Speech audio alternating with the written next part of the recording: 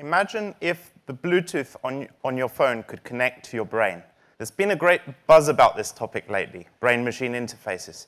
You may have even heard the likes of Elon Musk with his new initiative to merge the human brain with artificial intelligence in order to save humanity in the future. There are, however, currently real problems too.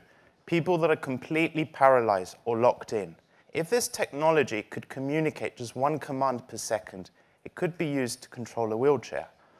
Or for communication, on average, we type at around 40 words per minute.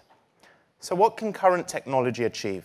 Wearable technology, like EEG, for example, uses electrodes placed externally on the surface of the scalp. These systems can only achieve a few characters per minute. This is because the electrodes are relatively far away from the brain, and so they observe the activity of many millions of neurons.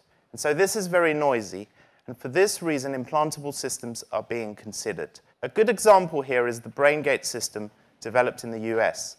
This uses a tiny microelectrode array implanted in the motor cortex to record activity, decode it, and control a cursor. Although there has been great progress here, there are some challenges. Firstly, the information transfer rate is still quite low.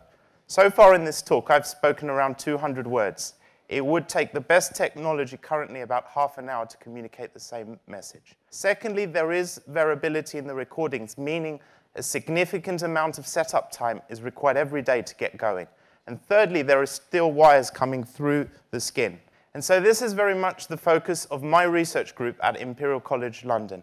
How can technology address these grand challenges? And what will implants of the future look like? So a good starting point here is to go back and look what is successful currently? Cochlear implants. And so these devices are typically implanted underneath the skin behind the ear. They have a small coil for receiving power, a metal package for protecting the electronics, and an array of electrodes for interfacing to the, to the tissue. The most advanced systems have around 20 electrodes, needing 20 separate wires. But brain-machine interfaces will need hundreds, preferably thousands of electrodes. We need more channels to, to improve this information transfer rate, but also to have redundancy so it's stable day in, day out. As we are unable to increase the number of wires in these implants, we need a different approach. And this is what I'm working on, a next generation implantable technology.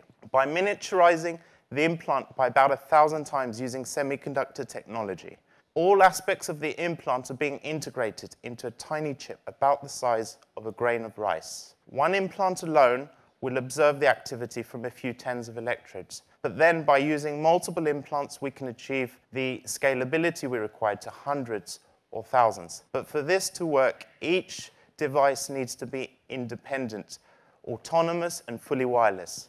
So to get the power in and the data out, we are developing a two-tier network. This will have wireless links across the skin and across the dura. That's the body's air to blood and blood to brain barrier.